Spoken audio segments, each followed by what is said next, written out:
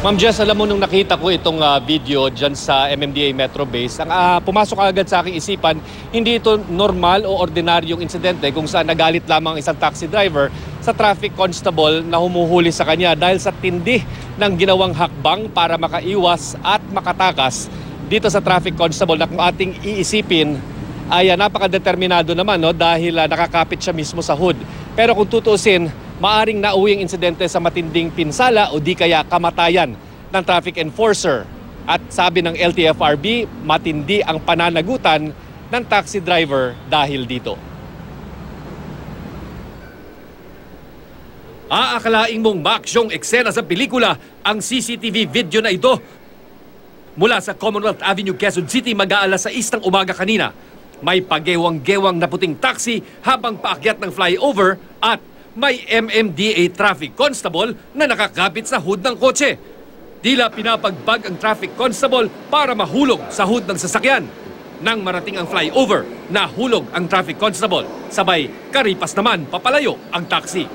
Isang nakamotor na tao ang makikitang huminto para tulungan ng hindi pa bumabangon na MMDA traffic constable na nakilalang si Rolando Perez. Isinugod si Perez sa East Avenue Medical Center kung saan sumailalim siya sa x-ray at nilapatan ng lunas ang kanyang mga pasa sa binti at tuhod.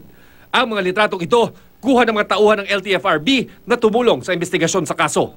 Napasugod sa LTFRB ang may bahay ni Perez para ireklamo ang driver ng Joannian Taxi na nakilalang si Ramon Guerrero Talan ng Rodriguez Rizal. Doon sa taxi driver, um, panagutan niya yung ginawa niya sa sawa ko, sira ulo siya. Um,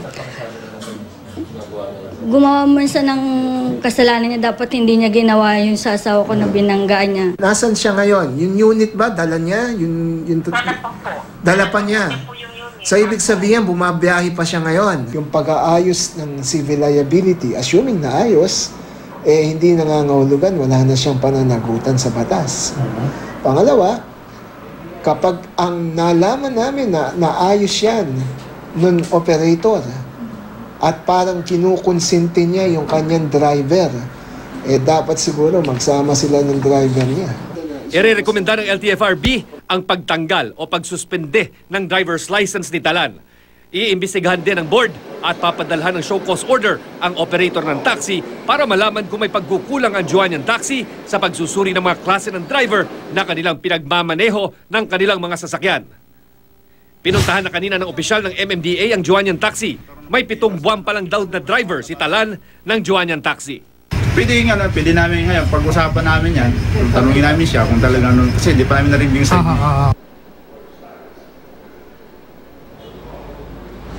Ma'am Jess, batay sa pinakahuling impormasyon na ibinigay sa atin ng LTFRB ngayong gabi, nangako daw ang Joannian ah, Taxi ah, Corporation na ihaharap itong ah, kanilang taxi driver na buong araw nang hinahanap kanina at sinasabing tangay nga yung taxi na nakikita sa video at yung traffic constable ng MMDA. So bukas sa lingguhang ah, meeting o hearing nitong LTFRB maghaharap yung dalawa. At may bago pang development ayon kay LTFRB board member Ariel Inton. Nagbigay din daw ng impormasyon ang uh, Joannian Taxi na yung video po na nakikita nyo sa inyong screen kanina kung saan na nakikita nating uh, winag, uh, winagawagayway o no, parang winawasiwas nitong uh, uh, taxi driver, itong nakakapit na traffic constable. Yan po daw ay uh, bios na sasakyan no na malayo o hindi doon tugma sa sa plate number na sinasabi ng ah, traffic constable na humuli kanina na isang Nissan Sentra.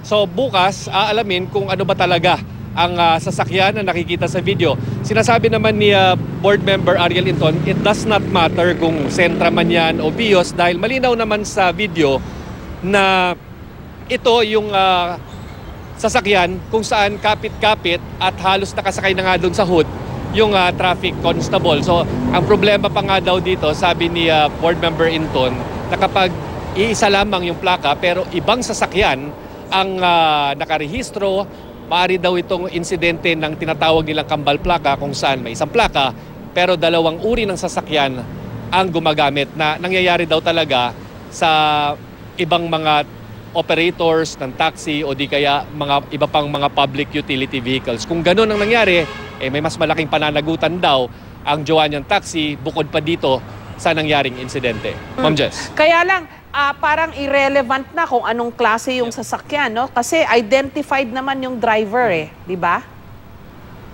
Tama ka dyan, Ma'am Jess. Sinasabi nga ng LTFRB, irrelevant at baka makadagdag pa nga sa kaso. Kasi kung bios nga talaga ang nakalagay sa sakya, pwede rin naman natin kasing masabi, baka na malikmata lamang itong ating mga enforcer, eh ah, napa-verify kanina sa LTO na yung plate number na nilista ng mga traffic enforcers ng MMDA ay ah, rehistrado ito sa isang Nissan Sentra. At kung Vios nga nakikita, well, dagdag pa ito sa problema. Pero tama ka dyan, Ma'am Jess, irrelevant dahil kitang-kita naman yan. Whether Vios yan o Nissan Sentra, kitang-kita na yan yung sasakyan na siyang tumatakas at tumangay dito sa traffic enforcer. Ano ano raw ba ang punot dulo nito? Bakit napasampa Hmm. yung traffic constable? Ah, hinuhuli tama ba hinuhuli nitong MMDA traffic constable yung taxi? Pero siguro Ma'am alam mo, dun sa salaysay na ibinigay nga ng asawa dahil hindi tayo nabigyan ng pagkakataon na mapuntahan itong ah, MMDA traffic ah, constable kanina dahil ah, nung mga panahon na nandun tayo sa LTFRB at naghihintay sa kanya, ah, abala naman siya sa pag-aayos ng police ah, report at ah, kagagaling lamang niya sa ospital. So, minabuti niyang paunahin muna doon ang kanyang asawa sa LTFRB para magsampa ng ah, reklamo laban na nga dito sa driver na kaagad na mga na-identify. At ah, ang sinasabi ng kanyang asawa, hinuhuli daw nitong traffic constable, yung ah, si driver na si ah, Ramon Guerrero Tala, no? At ah, sinasabi nga na nag-resist daw ito, no? Ayaw magpahuli. At habang pinipigilan ng may kasama pa kasi isang traffic constable, so body itong dalawang traffic constable, ah, pinipigilan nila, hinarangan sa harapan, pero pinaabante daw nito ng ah, taxi driver ang kanyang sasakyan kung kaya't napilitang sumakay sa hood itong ah, si ah, Ronald Perez sa traffic constable ng MMDA at hanggang makarating na doon sa flyover ay ah, kapit-kapit niya oh, kapit-kapit siya dyan sa hood ng sasakyan. Hindi niya naman siguro inaakala daw na itutuloy talaga ng ah, taxi driver ang pag-akyat sa flyover gayong meron ng traffic constable na nakakapit nga doon sa hood ng sasakyan na kung yung nabanggit ko kanina, maaari talagang mauwi sa matinding physical injury o di kaya kamatayan kung ah, gumulong yung ah, traffic constable sa harapan ng sasakyan. Oo, yun nga, nakakabahala, no, Chino? Maano ba naman itigil mo na yung sasakyan mo? Kasi kay mali ka man o mali yung tiga MMDA, pag ganyan na, na nalagay naman sa peligro yung kapwa mo, abay, itigil mo na lang muna. Baka naman pwedeng Tama. pag-usapan ninyo, malit na bagay lang kung may offense ka Yes. doon, di ba? Ang importante, hindi Oo. ka makapanakit ng tao. At para Ma'am Jess, ang tingin ko nga dito, road rage, no? Kakaibang klaseng ah, road rage dahil siguro nagkainitan na rin ng ulo.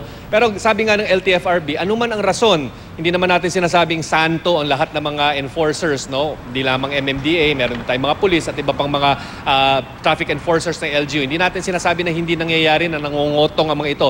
But ah, in another incident, huwag sabihin natin itong insidente na to, in another incident, kahit may ganyan pang mga unfair na panguhuli o di makatarungang panghuli sa iyo sa kalsada, sa tingin ko naman, Ma'am Jess, hindi dapat mauwi na umabot kayo sa ganyan na maaring mauwi sa kamatayan ng isang tao yung galit mo at pagkaasar. Kasi may iba na mga paraan na para ireklamo itong MMDA Traffic Enforcer. Nandyan yung social media, pwede mong videohan at i-post sa Facebook na siya namang nakikita natin in the past several months, ina-actionan ka kaagad ng LTFRB at ng MMDA yung mga reklamo laban sa kanilang mga tauhan. Mm, kasi yun nga eh, oh, kitang-kita na pilit niyang parang inilalaglag yung traffic constable. Tapos nung nalaglag pa, hindi niya pa tinulungan, hindi niya binalikan. Talaga umarangkada pa siya. Nako, patong-patong ang mga dapat sagutin ng Yes, driver na ito.